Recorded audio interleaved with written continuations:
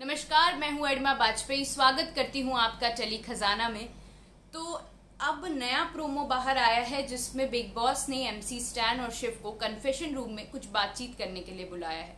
क्या बातचीत है? किससे रिलेटेड बातचीत है? ये बताती हूँ आपको। हमने एक चीज़ देखी, दो टीम्स के बीच में एक नाइन मिनट्स को लेके एक परफॉर्मेंस टास्क हुआ, जिसमें सबको नौ मिनट का एक अंदाज़ा लेके काउंट रख के क्लोजेस्ट आना था। जिसमें टीम जो आ, अर्चना प्रियंका और शालीन वाली थी वो जीत जाती है जिसकी वजह से जो मंडली वाली टीम है वो हार जाती है। यानी कि टीमें हार जाती है।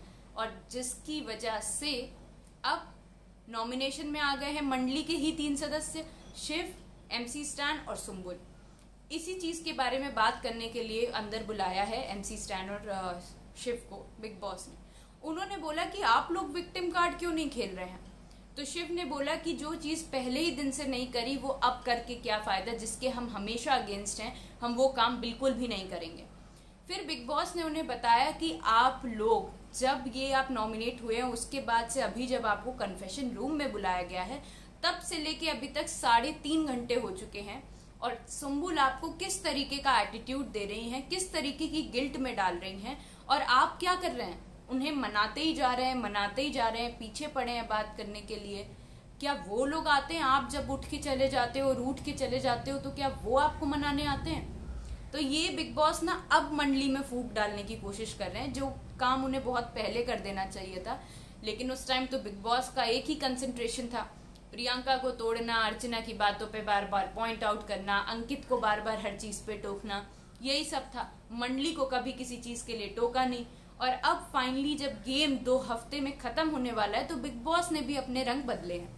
और मंडली को तोड़ने की शायद ज़िम्मेदारी इस बार उठाई है, क्योंकि अभी तक ऐसा कभी नहीं हुआ कि मंडली के सदस्यों ने एक दूसरे के बारे में जो बात करी हो, वो बिग बॉस ने उनको अंदर कन्फेशन रूम में बुला के बताई हो। पहली बार ऐसा हुआ सुम्बुल के लिए बात कर रहे हैं।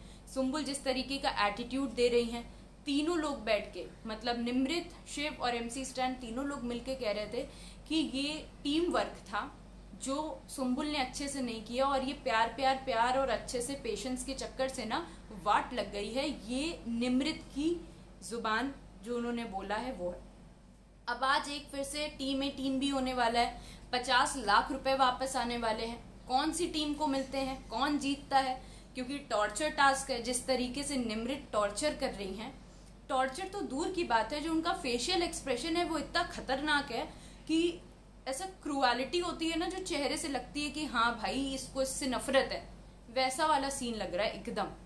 तो अब क्या होता है शिव और एमसी स्टैन और निमृत क्या तीनों लोग मिलके सुम्बुल का साथ छोड़ देंगे या फिर उनके साथ आगे बातचीत नहीं करेंगे? वैसे खुद को अच्छी इमेज दिखाने के लिए ऐसा करना तो नहीं चाहिए लेकिन अभी देखते हैं कि क्या स्टैंड उनका होता है क्योंकि आज के जो आ, प्रक्रिया होने वाली है, जो भी परफॉर्मेंस और टॉर्चर टास्क होने वाला है, उसमें भी सुम्बुल का जो पार्टिसिपेशन है, वो ज़ीरो हो जाएगा, क्योंकि चार लोगों ने मिलकर ये डिसाइड किया है। सॉरी सुम्बुल ने नहीं डिसाइड किया है। तीन लोगों ने मिलकर डिसाइड किया है कि सुम्बुल परफॉर्म नहीं करेंगी, क्योंकि इससे पहले नॉमिनेशन टास्क में उन्हें नहीं हराया है। तो ये है नया प्रोमो नई किस्से जो बिग बॉस में होने वाले हैं। तब तक के लिए आप टेली खजाना देखते रहिए और सब्सक्राइब कर दीजिए। Thank you